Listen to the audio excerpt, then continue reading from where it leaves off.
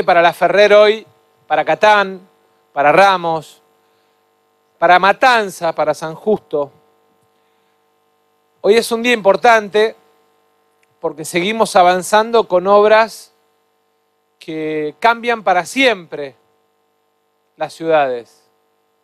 Como bien decía Fer, fuimos a ver el túnel recién.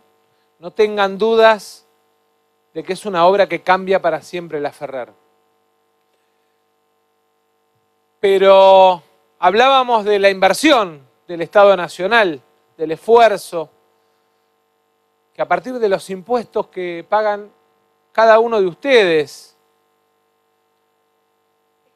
el Estado Nacional invierte en distintos lugares de la Argentina. Y yo le decía a Fernando que tenemos que apurarnos para seguir logrando inversiones en la matanza, en la provincia, porque entre el 2015 y el 2019, en nuestro conurbano, el Estado Nacional no hizo ni un solo túnel. Y hizo 66 en la ciudad de Buenos Aires. Perdimos 66 a 0. Y me parece que es importante que se entienda que en cuatro años al conurbano ni lo miraron mientras pagaron 66 túneles en la ciudad de Buenos Aires. Perdimos 66 a 0. Y tenemos que tratar de lograr que con inversión pública, con recursos, con esfuerzo de los ministros, de los funcionarios, yo le quiero agradecer a Alexis y a Martín el trabajo que hacen, pero sobre todas las cosas, con el trabajo del Estado Nacional abrazado a los intendentes. Nadie sabe mejor que cada intendente lo que necesita su ciudad en materia de seguridad, en materia de obras de infraestructura. Ayer nomás lo veía Fernando anunciar otras tres obras históricas. Una hidráulica, otra de un arroyo y la tercera la planta, la soñada planta para que los vecinos de Matanza definitivamente tengan cloacas. Otra obra fundamental, que es la planta de La Ferrer, que también va a contribuir a cambiar definitivamente La Ferrer. Cuando Fernando decía, imaginen la estación de La Ferrer, con el túnel, con la peatonal, con edificios, es porque imagina que el impacto del túnel, la peatonal, el agua, las cloacas y la recuperación del trabajo de cada argentino y cada argentina nos permite soñar y pensar para adelante que la Ferrer, que la Matanza, que la Argentina, con inversión y trabajo, se vuelve a poner de pie. Hoy para nosotros es un día importante. Recién contaba Fernando lo que representan las inversiones, pero también es un día importante, porque cuando abrimos el boletín oficial a la mañana, vimos que otro de los compromisos que asumimos en el 19 y que había quedado producto del daño que nos infligió la pandemia postergado, pudimos empezar a ponerlo en marcha con un decreto de nuestro presidente Alberto Fernández. Sí, hoy se firmó el decreto que permite transformar los planes sociales en empleo genuino, con capacitación laboral, que no le impide a quien tiene un plan ir a trabajar a una empresa, que le da a la pyme la posibilidad de tomar al beneficiario del plan no pagar contribuciones, completar el salario de convenio y reinsertarlo en el mercado de trabajo y le da a nuestros municipios, a las cooperativas, a las organizaciones sindicales la tarea de la capacitación para la reinserción en el mercado de trabajo. Porque fíjense qué paradoja. En el año 2015 la Argentina tenía 140 mil planes, pero en el 2002 muchos de los que están acá se acordarán, teníamos casi dos millones de planes jefes y jefas de hogar. La Argentina vivía una crisis que la estremecía y salimos de la crisis transformando los planes en trabajo. En el 2002, como les decía, más de 2 millones de planes. En el 2015, 140 mil planes para acompañar a quienes no habían podido entrar al mercado de trabajo. Pero en el 2019,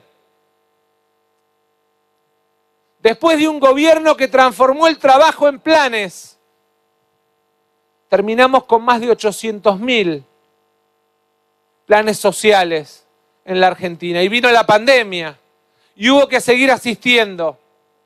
Pero todos, absolutamente todos somos convencidos de que no hay nada más digno que permitirle a un trabajador tener empleo con obra social, con aporte jubilatorio, con el seguro de RT, y por eso transformar los planes en empleo es darle dignidad a nuestra gente. Y yo quiero agradecerle a Fernando esta muestra que hoy nos da acá, de sentar a los trabajadores, a los empresarios, a las distintas organizaciones de la sociedad civil, porque ese es el otro desafío que tenemos. Como bien decía Fernando, el 14 de noviembre vamos a una elección y vamos a definir en definitiva qué parlamento tenemos. Si tenemos diputados que voten tarifazos del 3.000%, o si tenemos diputados que congelan las tarifas como hicimos en los últimos dos años, para que el trabajador no siga perdiendo el poder de compra de su salario. Y en definitiva, esa es la elección que tenemos el 14 de noviembre. Pero el 15, la Argentina sigue.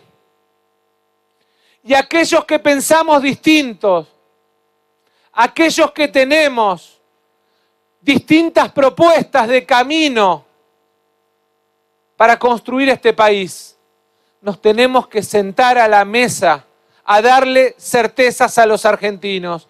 Tenemos que construir acuerdos alrededor de algunas políticas de Estado, la educación, la ciencia y la tecnología, el cuidado de nuestros jubilados, la transformación de los planes en empleo, son temas centrales que requieren de un acuerdo de todas las fuerzas políticas, que requieren soltar la miseria de la disputa electoral y pensar por una vez en el país, en nuestra patria. Quiero desde acá decirle a la oposición, que sí, que aunque sigan mordiéndonos la mano, aunque sigan atacándonos, los vamos a seguir convocando porque creemos en una patria para todos, porque creemos en una Argentina que incluya y porque entendemos, como entiende nuestro presidente, que el futuro de los argentinos es de todos y no de un grupo chiquitito que pretende usar la política y el poder en beneficio propio. Hoy cuando vemos estas obras, lo que estamos viendo es al Estado invirtiendo. ¿Alguna vez estos recursos que vienen en plantas de agua y cloacas, que vienen en trenes, que vienen en túneles, que vienen en generación de trabajo genuino para los matanceros, se fueron en el pago de deuda. Y en definitiva eso también tiene que ser parte de un acuerdo. Nuestro país tiene que tener en el ADN del diseño de las políticas públicas que puede tomar deuda para invertir en obras, que puede tomar deuda para financiar programas sociales o para incluir en el trabajo, pero no puede tomar deuda para financiar la fuga de capitales que no es ni más ni menos que los dólares que unos poquitos argentinos se llevan afuera de la Argentina. Y eso también tiene que ser parte de un acuerdo y de los límites que la política debe ponerse para adelante para poder construir en serio un proyecto de país. Confiamos en el calor y en el amor del pueblo de la matanza a nuestra patria y del acompañamiento a nuestro gobierno. Queremos pedirles que hagan un esfuerzo más, que acompañen a Fernando, que acompañen al gobernador, que lo acompañemos a Alberto para reconstruir la Argentina definitivamente. La pandemia nos puso un freno, nos obligó a atender la emergencia, pero hoy viene la tarea de construir el futuro. Con la matanza de pie hay futuro, por eso de pie la matanza, a acompañar al presidente para construir el futuro. Muchas gracias.